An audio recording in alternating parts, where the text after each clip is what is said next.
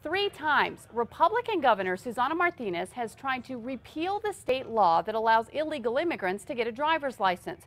And she will soon try it again. With a powerful senator now gone, Democrats will vote this weekend to fill his important post at the Roundhouse. A vote that's expected to have a big impact on what the governor wants. News 13's Krista Gutierrez is in the Newsplex with details.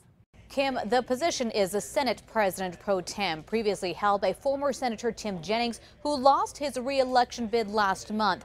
Now, whoever replaces him will play a big role in big issues like driver's licenses for illegal immigrants.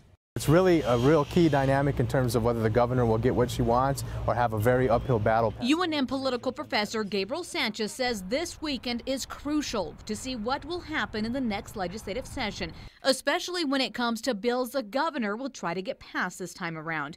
The Republican governor's push to repeal the law that allows illegal immigrants to have driver's licenses has been a heated debate between her and the Democrat majority legislature. This past election, the governor's PACs poured money into to trying to bump two key senators out of office and out of their high powered positions. She mm. succeeded with one. Tim Jennings lost his election. His position is now up for grabs. And five Democrats are named as possibly filling that post. Senators Mary Kay Papen of Las Cruces, Howie Morales of Silver City, Carlos Cisneros of Questa, Linda Lopez of Albuquerque, and Pete Campos of Las Vegas. All of them are not exactly champions of the governor's agenda. Sanchez says there are talks Campos is the front runner. He's already made his opinion known about the repeal of the state's driver's license law in a letter on his own website, saying he favors the Senate's measure over the governor's. If he were to emerge, you're likely to see that compromise bill that would basically allow undocumented immigrants to have access to a driver's license, but with a lot more requirements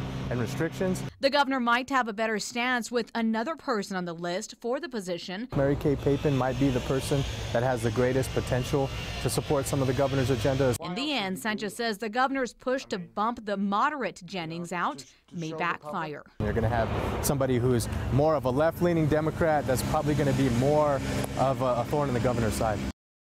Now, Gabriel Sanchez says since the governor's PACs were not successful in bumping out Senate Majority Leader Michael Sanchez, that could be really bad for her. If Sanchez can get a liberal ally to get the president pro tem position, his influence will increase. Sanchez can stop a bill before it even gets to vote. Back to you. Okay, thanks, Crystal. Now, Senate Democrats will caucus this Sunday to fill the pro tem position.